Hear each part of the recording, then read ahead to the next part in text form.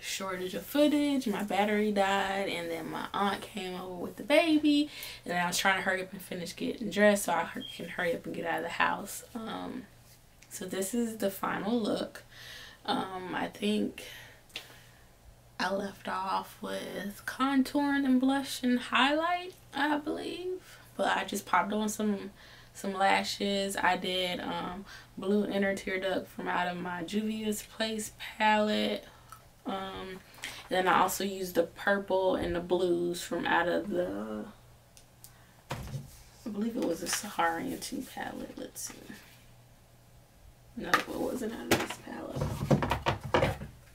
Out of the Zulu palette. So in the Zulu, no, it wasn't this one either. Hmm.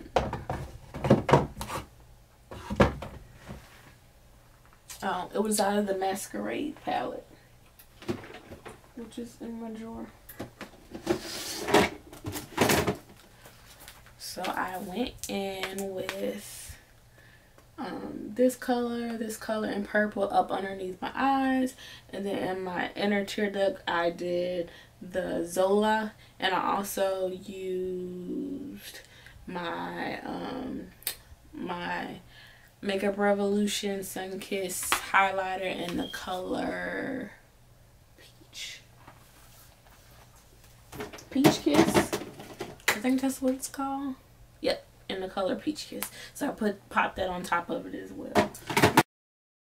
But that is it. I am done. I am in the house. It is 2 excuse me, it's 2.18 a.m. and I am about to snatch off my lashes secure my wig and wash my makeup off and get in the shower and get in the bed. My daughter is not here, so hopefully I'll be able to sleep in a little, just a little bit. But that is it. I hope you guys enjoy the look. I know it's kind of worn or whatever the case may be. But you guys, and until next time, peace.